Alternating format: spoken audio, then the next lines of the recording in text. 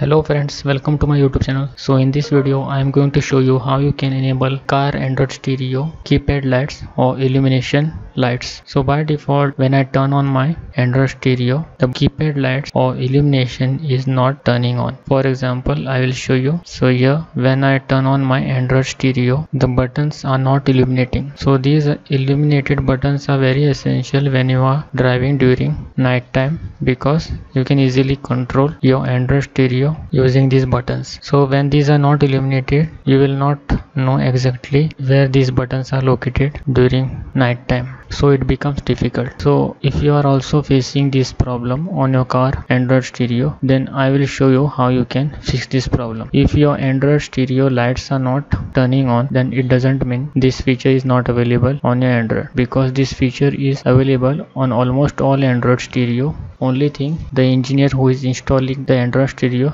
should make that connection while installing. So let's fix this problem now. So first of all you will need to open the android stereo and here you will able to see illumination wire which is in orange color and you will also find a tag in name illumination. You will need to connect this wire to be positive connection and then just tip it nicely and just fix your android device again and then your keypad lights will illuminate like this so this is how you can easily fix your car android head unit keypad lights. So that's it for today. Have a nice day. Goodbye